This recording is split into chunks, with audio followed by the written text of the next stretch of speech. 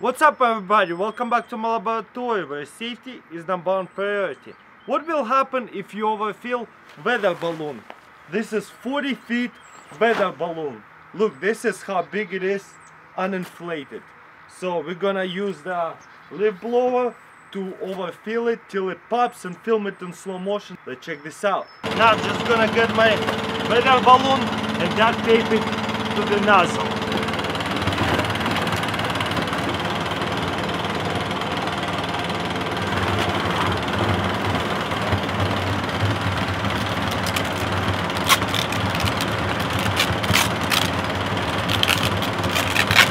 It's crazy, it's big as me.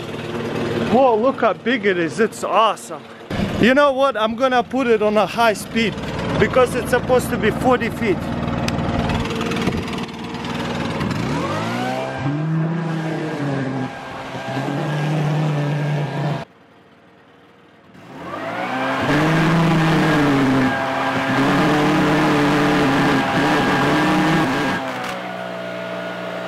Look how big this balloon is. It's, it's nothing. It's supposed to get to 40 feet. I need a better duct tape. This is awesome. Let's try this again. Woo!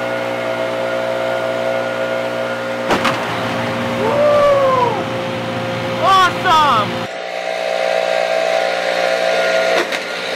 Woo! That was awesome. What do you guys think? Look at this piece. That was insane. This is a giant balloon. Check this out. This is crazy.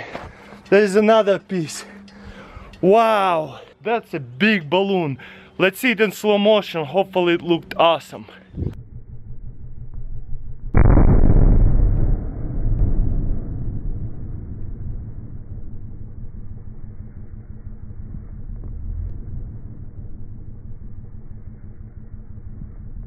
Let's see this Just one more it like time. that and let it out. And guess what? All the oxygen. It's just gonna come Boom, out. Look at this. Look. This is awesome. All in one